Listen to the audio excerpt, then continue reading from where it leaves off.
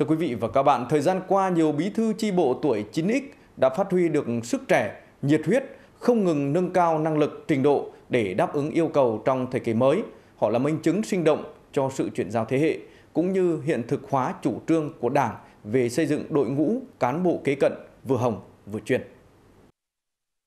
Năng động, nhiệt tình, luôn sông pha đảm nhận những việc khó. Đó là những lời nhận xét của cán bộ và nhân dân địa phương dành cho anh Nguyễn Hữu Anh, Chủ tịch Hội Nông dân xã, kiêm bí thư chi bộ Tân An 1, xã Thạch Hạ, thành phố Hà Tĩnh. Anh luôn tâm huyết với công việc của xã, của thôn, của chi bộ và cũng là điển hình trong phong trào phát triển kinh tế ở địa phương.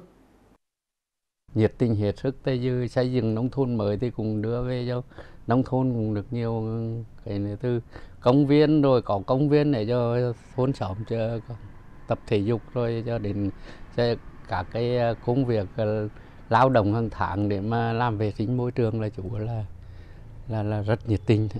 Nhưng là một người đảng viên này, một người cán bộ phụ trách thầy nhiệt tình. À, trên cương vị của mình thì à, bản thân cũng đã là à, đi sâu đi sát với à, quân chúng à, nhân dân cũng như là cán bộ đảng viên. À, để từ đó là à, cùng nhau à, tháo gỡ Hiện nay trên địa bàn toàn tỉnh, số lượng bí thư chi bộ trẻ khá nhiều. Điểm chung ở họ là tinh thần nhiệt huyết, cống hiến. Ở nhiều chi bộ, đội ngũ bí thư chi bộ trẻ đang trở thành những người truyền lửa, thắp lên niềm tin, tạo động lực, đẩy mạnh các phong trào thi đua yêu nước tại địa phương. Để người dân, người dân vào cuộc à, à, đông đều hơn thì mình phải à, thì rất là vận động hay là, là với những cái sáng tạo có những cách à, điều hành mới học hỏi từ kinh nghiệm của các à, thôn khác để à, người dân họ thấy được cái sự nhiệt tình và sự vào cuộc ờ, của cán bộ ở thôn. Bí thư chi bộ thôn tổ dân phố là đội ngũ cán bộ gần dân, sát dân nhất. Nhờ họ, những chủ trương đường lối của Đảng, chính sách pháp luật của nhà nước được tuyên truyền đến tận từng người dân.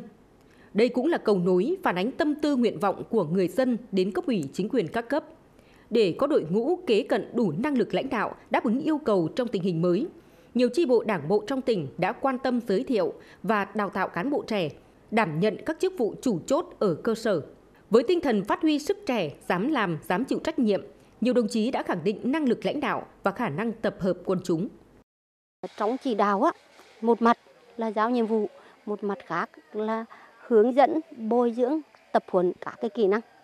và rất là mừng là ờ, khá nhiều bí thư chi bộ tuổi còn rất là trẻ, nhưng họ đã rất là tiên phong, gương mẫu từ làm kinh tế đến chỉ đạo triển khai các nghị quyết cũng như tham gia xây dựng nông thôn mới. Và cũng tin tưởng rằng với cái từ thay đổi nhân sự trong đại hội chi bộ lần này đối với tuổi trẻ thì sẽ tạo nên một cái luồng không khí mới để làm sao ừ, nâng cao cái chất lượng hoạt động chi bộ nói chung và công tác xây dựng đảng ở các địa phương nhiều bí thư chi bộ trẻ đã và đang thổi một luồng sinh khí mới vào các phong trào ở các địa phương bằng những việc làm mới mẻ, sáng tạo, tạo được niềm tin trong nhân dân, trở thành cầu nối giữa Đảng với nhân dân, đáp ứng sự tin tưởng kỳ vọng của cấp ủy cấp trên khi giao trọng trách cho thế hệ trẻ.